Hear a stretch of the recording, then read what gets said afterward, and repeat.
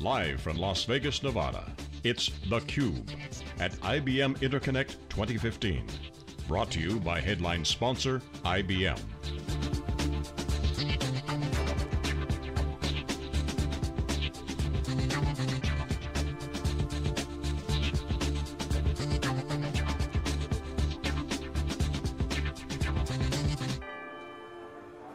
Hello everyone, welcome back to theCUBE, live in Las Vegas for IBM Interconnect. This is theCUBE special presentation.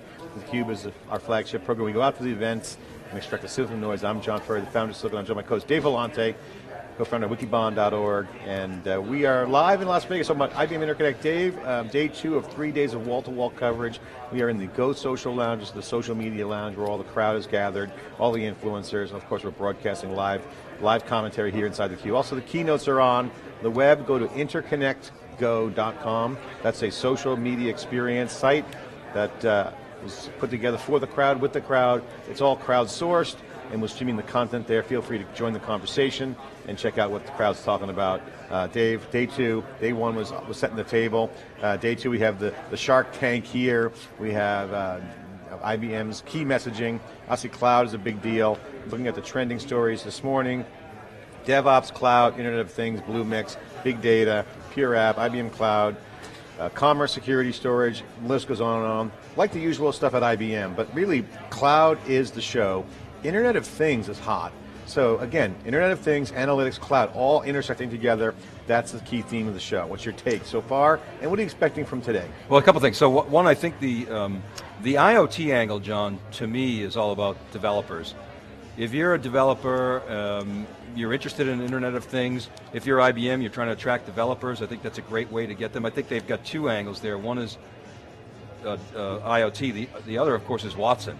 I think Watson, and you've, you've mentioned this a number of times, is like IBM's secret weapon potentially for developers. So it has to be able to attract developers. That's a big part of the reason for Amazon's success. Of course, Microsoft is, is renowned in that regard, as is Google and others. So IBM's got to play that card you know, heavily, and I think it's got some assets to do that, but it's got some work to do as well. I think the second thing is, as we talked about yesterday, IBM has a $25 billion business, which, is, which comprises cloud, uh, its analytics business, all the hot stuff that's, that's moving right now, the mobile pieces, and that's really, those strategic initiatives are really where IBM has to focus, that's the growth engine, it's got to get that you know, uh, uh, investment going, and it's, it is investing in that, it's got to keep it going, and it's got to keep the momentum going. It must, in my opinion, John, grow that business between 10 to 20% a year so that it can offset the flatness and, and, and, and headwinds in other businesses, like its hardware business.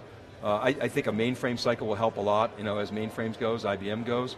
Uh, but what that will do is the new mainframe cycle will, will buy IBM time to get these other businesses going and inject fuel into that race car, that $25 billion cloud, big data, mobile business. Dave, what do you think about the uh, social experience site Interconnect Go? We've been talking about it, it's, our, it's the first rev of really capturing the magic that IBM has put together over the years with social media, uh, the VIP influencers. I was talking to Amber Armstrong from the social business team. Social media is in the is in the IBM's DNA, and they're putting together a social experience for the folks who aren't here.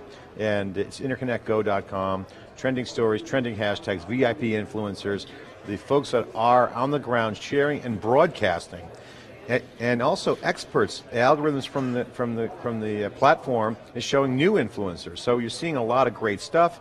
Um, I am super impressed with the VIP influencers, I'll tell you why.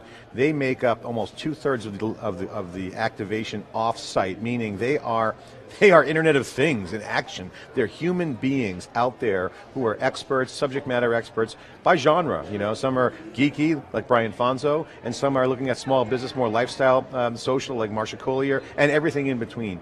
That, to me, is the future of work, the idea of collaboration, having people who are trusted in the crowd really working on behalf and collaborating with IBM, but also on behalf of the crowd.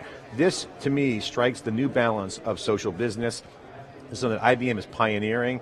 We're, we're a part of it on the cube. We activate as we do, but this is crowd-activated innovation in action. I think this is the holy grail. I think what IBM is doing with social business around earned media, own, own, their own media, and their, their paid media. So you get paid and owned, but now this earned component is allowing people to spread their wings, collaborate, share, and more importantly, broadcast what's happening and, and creating an interaction relationship, hence engagement. This is what we were talking about yesterday with IBM, systems of engagement, systems of record, and finally, the systems of insight from all that data.